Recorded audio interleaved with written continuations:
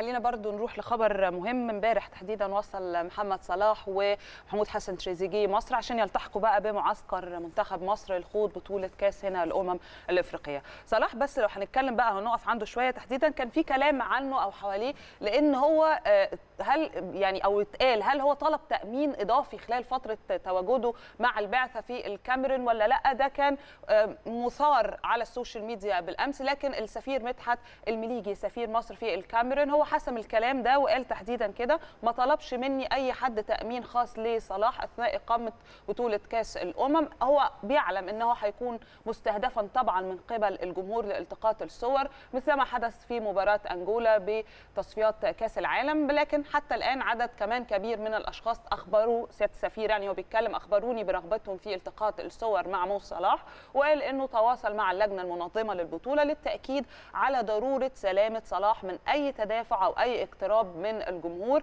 طبعا لاعتبارات بقى تأمينه مش بس لا كمان حفاظا عليه من زي ما كنا بنتكلم فيروس كورونا لأن الموضوع مش مضمون والموضوع لسه مستمر وهم هيكونوا حريصين جدا محدش يقرب منه يعني غير لما يتأكدوا إن هو غير حامل للفيروس ودي كلها إجراءات مقبولة اجراءات احترازية أكيد لتأمين اللاعبين خصوصا اللاعبين يعني الدوليين زي محمد صلاح وغيره بس ده يعني شيء على الكل مش بس بس خصوصا على محمد صلاح ده الخبر يعني اللي كان جاي. فأعتقد شيء ما يزعلش حد برضه. ومنطقي إلى حد كبير. بالزبط. يعني منطقي إلى حد كبير. وبعدين الناس دي كمان ما عندهاش فيش هزار. لا التوجه بتاع إن إحنا نسيبها للظروف.